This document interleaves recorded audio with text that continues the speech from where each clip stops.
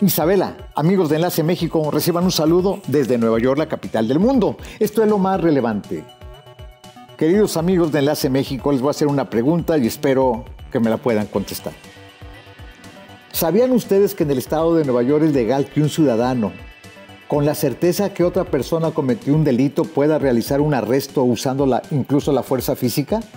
Además, que lo pueda hacer en cualquier momento, a cualquier hora del día, y que si la persona a la que va a arrestar huye, se puede usar incluso la fuerza física, y que dicha persona que va a arrestar debe informar a la persona que va a arrestar del motivo de la acción, a menos que encuentre resistencia física, esté en huida u otros factores que limiten dicho procedimiento, y que para efectuar dicho arresto no se requiere ninguna orden judicial?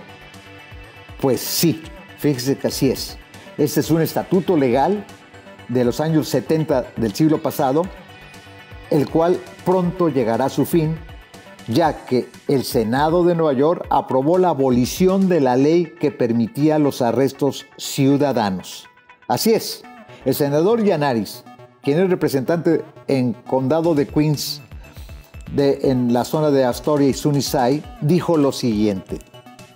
Los arrestos de ciudadanos son una práctica peligrosa e históricamente abusiva que no se debe permitir que continúe y que ha sido un aspecto legal que ha dado rienda suelta al sentimiento de muchas personas racistas.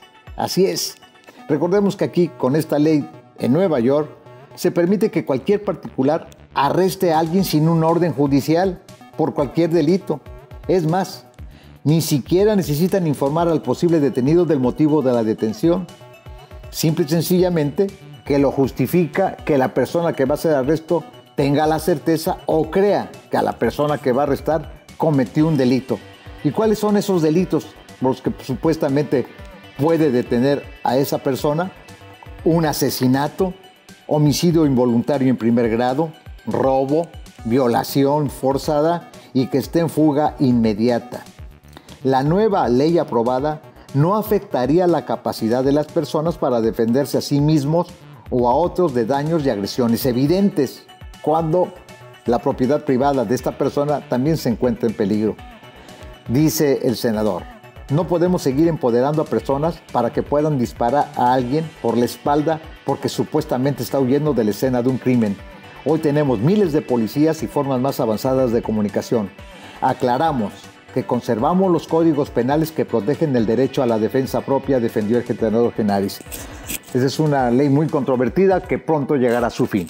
Eso es todo lo que tenemos en Nueva York, la capital del mundo. Que tengan muy buenas noches y una excelente, excelente semana a la vista. Hasta entonces.